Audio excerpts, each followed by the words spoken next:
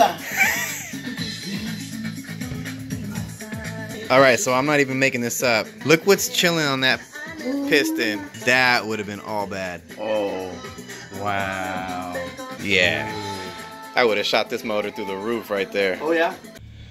All right, so I'm a little bummed out. We took off the head. You can't see it right now, but when this piston was all the way seated, it was all the way down. If you looked right up against the walls, it looked pretty beat up. And as you play with the light, you can kind of see that it's layered. So that's kind of a bummer. I think we might have to just sacrifice this block. I was really hoping to use this and just kind of get it going and swap it out. It is what it is. I'm not gonna go through all this work, drop in this motor and then run it and smoke down the track. So I'd rather just maybe just go with a different block. And I know I can run a B20 all day. That's convenient. So uh, I'm looking for a high compression B20 and then just throw the VTEC head on there.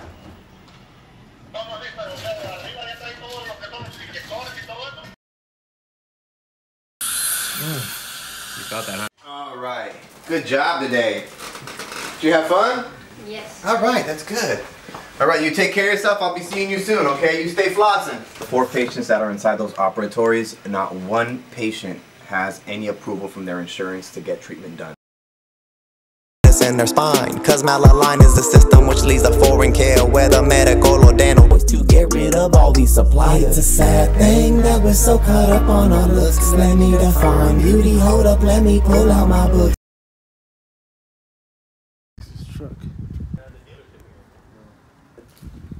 What's up, dude? My man. So good to see you, bro. man, I've been missing you, bro. What's up? How's baby most? Alex, you know about this, bro? Look, look where she's at. This is nice MR2. What are we putting in here? Yeah, so we were gonna go with um, Ooh, it's all polished. This was the original setup, bro. We were gonna go with a GSR V16 uh, CTR piston, Civic Type R pistons. But uh, we noticed that right around here in the sleeves are a little scratch, bro. So we were just like, Mm, You can get it resurfaced? Yeah, How much would that cost? about six, six, six bills probably. But we're gonna probably just wait. B18C1. Yeah, we're gonna keep the block. We didn't want to do this twice, bro. He recommended just not get something else, and then we picked up. Yeah, it's gonna start smoking, you know. So we were just like, nah. So we went with um, B20, bro. B20B. We're Type R head, port polished head. Here, I'll show you. Yeah, valve springs, retainers, cams. It's gonna be a nice little little setup, dude. Type R head on a B20B? Yeah. What trans is this? That's an old school LSD YS1. Oh, it's, this is the one you always talk about? Yeah. Luckily we have this here. Look, it still had some oil. Still in had it. some axle grease, huh? Yeah.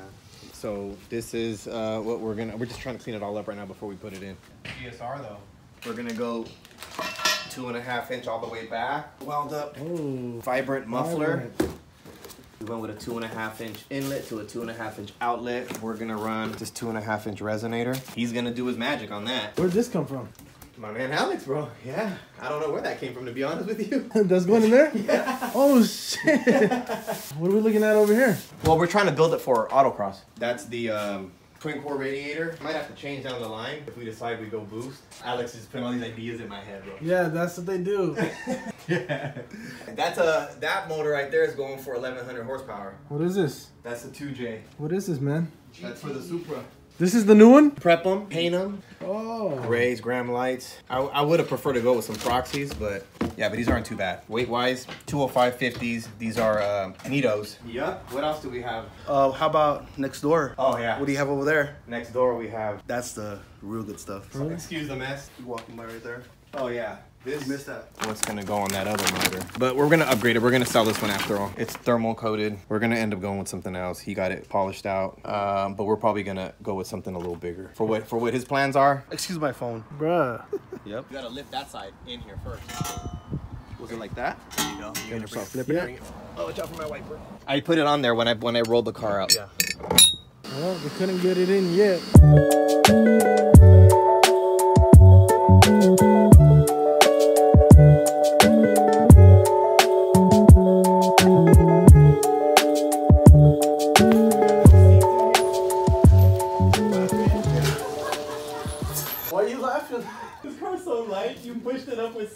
With slippers, bro. I got a jet, but these guys are gonna do some work. Yep. To be continued. Come through anytime after four, bro. We're out here. Alex, Take it easy. no, update us on what do you, Oh, so we had still have to put the roll cage in, get the engine in, uh, torque down the clutch. Uh, we Oh, get- believe it or not, we're gonna have AC up in this. bad oh yeah, Oh, yeah. shit. We have to hook up our AC.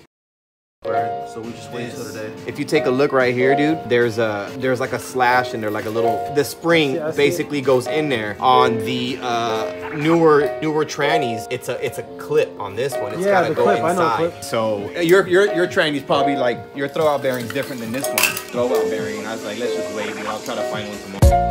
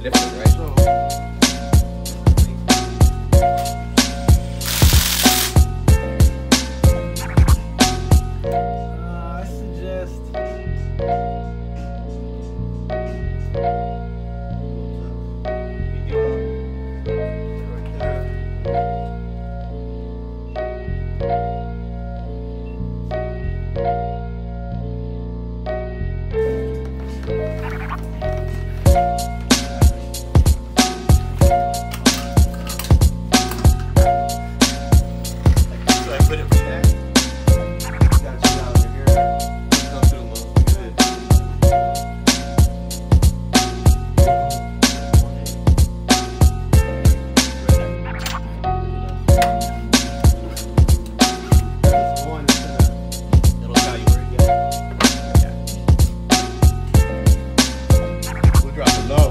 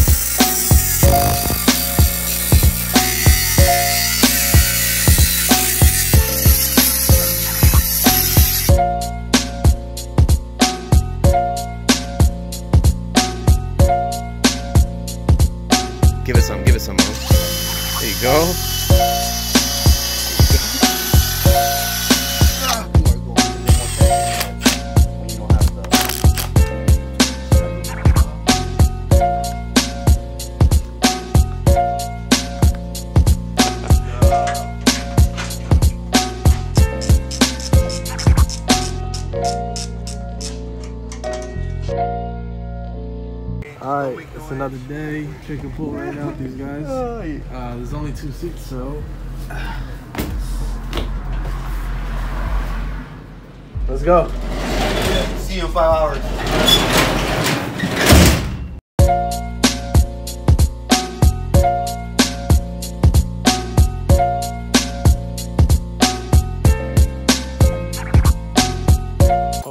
The Fremont Pick and Pull. So far, I ain't seen shit, but best believe we gonna find something. Stripped Integra. Only been here for about 20 minutes, and we got hella roads to go still. I'm with DDS. I'm with Alex Booster 10. Hopefully we find something good. Give me about like 10 minutes. Watch. 10 minutes. You already know. Mainly we looking at all the Hondas, Integras. See, normally when you come to a road like this, you're basically looking for the small leftover miscellaneous parts because basically this is just signs that show that a lot of the good shit's already taken out. When you see a big mess underneath the car, such as this shit right here, this indicates it means that shit's most likely gone. To be honest, you gotta be tapped in or you gotta come hella early to get all the good shit because motherfuckers be here hella early, ready to snag the shit that they see online or they're just on the hunt before you are. It's the Easter egg hunt. But if you tapped in, you got people on the inside, they're gonna for sure let you know what's coming in, what road it's on. Shit, might even hide the car or some parts until you get here. Anybody works in pick and pull, I'll let you boy. Let me know something, please. Because there's a lot of cardio, my nigga. It's a lot of walking. But I ain't gonna lie, it's just fun. Fun. Still on it. Five minutes later, I ain't seen shit yet. Nothing yet. If I don't find nothing good, I'm gonna start looking for some speakers, some good ass speakers. One of the craziest things about it is they make you wear a mask at pick and pull, bro. Oh look, I found these I've guys. been calling you, man. What's good? What'd you guys find? Uh, the T bracket that we needed. Perfect. My homie right here. Nothing. I actually saved you guys a lot of walking time. There's nothing out there, bro. No, you're kidding. No way. I'm dropping. You can steal it, but not a lot. All right, man. Good luck. Shit. This is old school, made in America, but they have these special plugs that somebody took. But the first thing that a lot of people get when they get to these cars, they get the ECU. Everything is gone, but the the ECU is still here. Cleaner look. Right.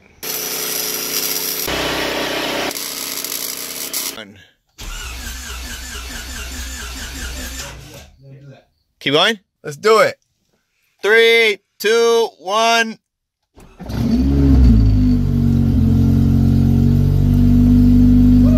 Woo-hoo-hoo-hoo-hoo.